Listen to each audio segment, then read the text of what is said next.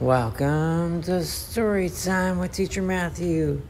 Today we're going to read a story in the library.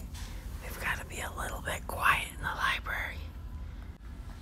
Hi, there I am. Today we're going to read I'll Be a Firefighter. It's by Nancy Parent. Uh, when I grow up, I want to be a firefighter. I'll polish the fire engine until it shines. Look, I can see myself. Can you see yourself?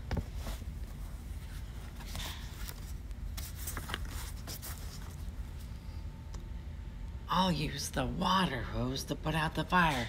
Stand back, everyone!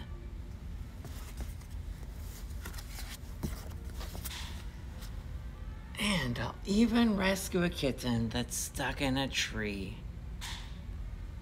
Here, kitty, kitty, kitty. The end. When you grow up, do you want to be a firefighter?